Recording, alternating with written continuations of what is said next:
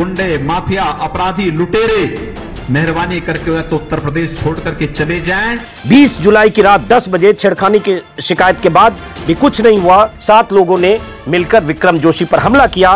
और कल ही इसने माँ और बेटी दोनों को अपने ट्रैक्टर से रौंद कर मार डाला। पूरे उत्तर प्रदेश में गुंडा राज का चेहरा बेनकाब कर दिया है। आज राहुल गांधी ने कैलेंडर खोलकर मोदी सरकार पर खुला वार किया। राहुल गांधी ने खुद की लॉन्चिंग के लिए रफाल को क्रैश कराने की कोशिश की लेकिन ना रफाल क्रैश हुआ ना राहुल गांधी लॉन्च हो पाए। उत्तर प्रदेश के मुख्यमंत्री योगी आदित्यनाथ ने सत्ता में आते ही यूपी के गुंडा राज खत्म करने की बात कही थी। आगरा में 35 लाख की लूट होती है। लुटेरे राजस्थान की ओर भागने की तैयारी में होते हैं। और जैसे ही शासन से फ़ोन जाता है 24 घंटे के अंदर 35 लाख रुपए बरामद होते हैं और चोर जेल के अंदर होते हैं। और हम लोगों ने कह दिया है, सत्ता के संरक्षण में पल रहे गुंडे, माफिया, अपराधी, लुटेरे, ये सब के सब मेहरबानी करके या तो उत्तर प्रदेश छोड़ करके चले जाएँ और अगर उत्तर प्रदेश में रहेंगे तो फिर उनके लिए दो जगह होंगी। मुझे लगता है उस जगह कोई भी नहीं जाना चाहेगा। और उसके बारे में तय कर ले क्या होना है? विकास दुबे का मुद्दा अभी खत्म नहीं हुआ था कि यूपी से गुंडे राज की एक और घटना सामने आ गई। कुछ बदमाशों द्वारा एक पत्रकार को मौत के घाट उतार दिया गया है। राजधानी दिल्ली से सटे गाजियाबाद के विजयनगर इलाके में बदमाशों के हमले में घायल हुए पत्रकार विक्रम जोशी की मंगलवार देर रात इलाज के दौरान मौत हो गई। विक्रम ने बदमाशों के खिलाफ छेड़छाड़ का मुकदमा दर्ज कराया था।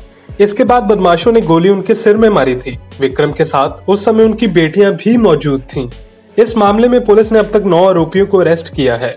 पत्रकार विक्रम जोशी के भाई अनिकेत जोशी ने बताया कि विक्रम जोशी ने भांजी के साथ हुई छेड़छाड़ की घटना की बाबत रिपोर्ट विजयनगर थाने में दर्ज कराई थी, जिसके बाद से आरोपी युवक लगातार धमकी दे रहे थे। मुकदमा होने के तीन दिन बाद तक उनके खिलाफ पुलिस द्वारा कोई भी कार्रवाई नहीं की गई। विजयनगर में विक्रम को गोली मारने की लाइव घटना सीसीटीवी में कैद हुई है। अजीत उंजम ने इस मुद्दे पर अपने शो में अधिक जानकारी दी। क्रोनोलॉजी पूरा date wise Times of India ने छापा है कि 16 तारीख को आ, कैसे बेन एक्यूज जो है रवि उसने विक्रम जोशी की भांजी के साथ छेड़खानी की थी। उसके बाद उन्होंने शिकायत की। उनकी तरफ़ से थाने में शिकायत हुई और भांजी की छेड़खानी का विरोध करने पर उनकी भांजी के भाई मतलब उनके भांजे की पिटाई भी की। उसके बाद शिकायत की गई। एफआईआर दर्ज नहीं हुई।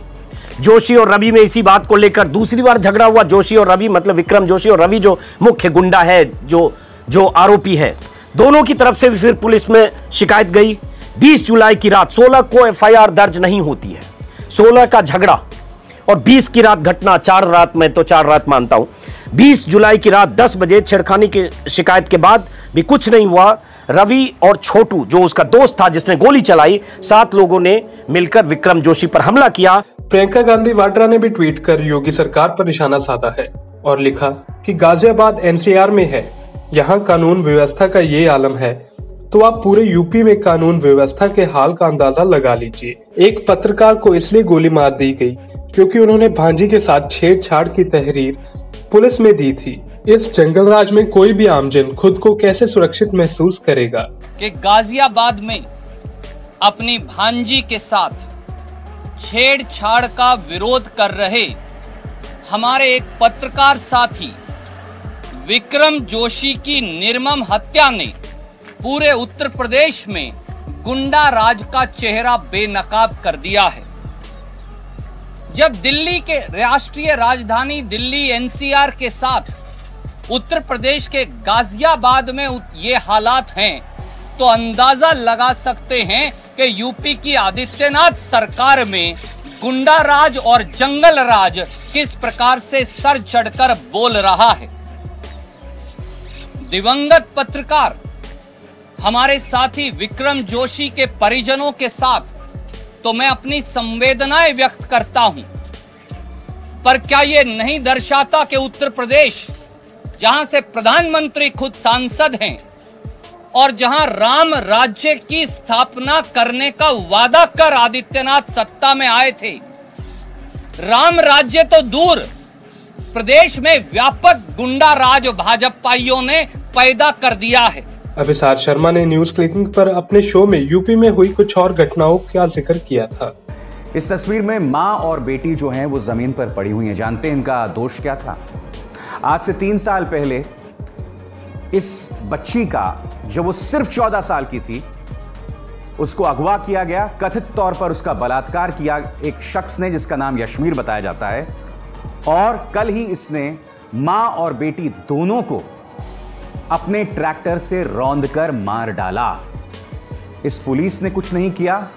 आज की तारीख में माँ और बेटी दोनों दोनों अब ज़िंदा नहीं है। पिछले ही हफ़्ते लखनऊ में एक माँ बेटी ने खुद को लोक भवन के सामने आग लगा दी थी।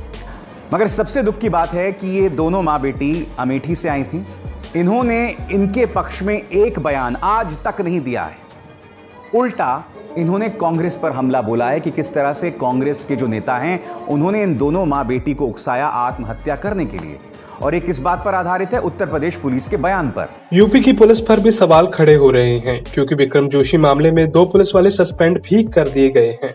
और विकास दुबे मामले में भी यूपी पुलिस पर ही उंगली उठाई जा रही थी। इससे पहले जून 2020 में पत्रकार शुभम मणि त्रिपाठी की हत्या भी कर दी गई थी। आरोप ये है कि पत्रकार की हत्या के पीछे क्षेत्र में सक्रिय रेत माफिया और भू माफिया का हाथ है।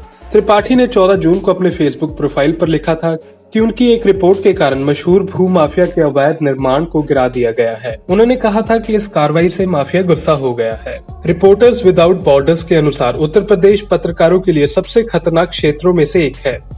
खासकर जो लोग रेत माफिया को कवर करने की कोशिश करते हैं, यानी कि एनजीओ ने कम से कम पाँच हालिया घटनाओं को सूचीबद्ध किया था।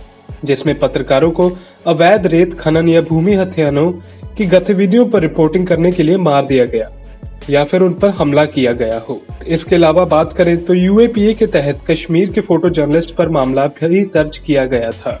और दूसरी ओर, गुजरात के मुख्यमंत्री विजय रूपानी पर टिप्पणी करने को लेकर भी गुजरात में पत्रकारों पर केस दर्ज हुआ था। देश में पत्रकारों का इतना बुरा हाल है, और हमारा मेन स्ट्रीम मीडिया कुछ और ही करने में लगा है।